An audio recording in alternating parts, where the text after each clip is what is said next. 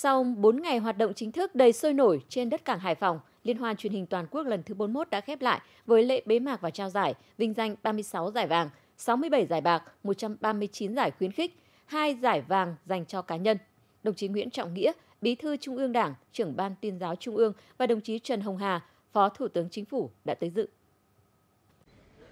Phát biểu bế mạc Liên hoan truyền hình toàn quốc lần thứ 41, ông Lê Ngọc Quang, Tổng Giám đốc Đài truyền hình Việt Nam, Chủ tịch Liên hoan truyền hình toàn quốc lần thứ 41 khẳng định, thành công của Liên hoan năm nay là kết quả của hơn 2 năm chuẩn bị thay đổi phương thức tổ chức, thể lệ và điều chỉnh phù hợp với thực tế thông tin tuyên truyền. Liên hoan là dịp để những đam mê nghề nghiệp được gửi vào các tác phẩm dự thi. Hơn 700 tác phẩm ở 11 thể loại từ 96 đơn vị dự thi Liên hoan truyền hình toàn quốc năm nay đã bám sát dòng thời sự chủ lưu và thể hiện rõ vai trò, trách nhiệm và sứ mệnh của những người làm truyền hình đối với sự phát triển của đất nước với nhu cầu thông tin và giải trí của công chúng. Đáng chú ý một số tác phẩm được trao giải vàng ghi nhận nỗ lực sáng tạo của Đài Phát thanh và Truyền hình các tỉnh như Cao Bằng, Tuyên Quang, Lạng Sơn, Quảng Bình, Quảng Trị, Quảng Ngãi, Ninh Thuận, Đắk Lắk. Trong số 96 đơn vị dự thi có nhiều đài phát thanh truyền hình các tỉnh thành đạt nhiều giải thưởng như Hải Phòng, Vĩnh Long 9 giải, Ninh Thuận, Lào Cai, Nghệ An 6 giải.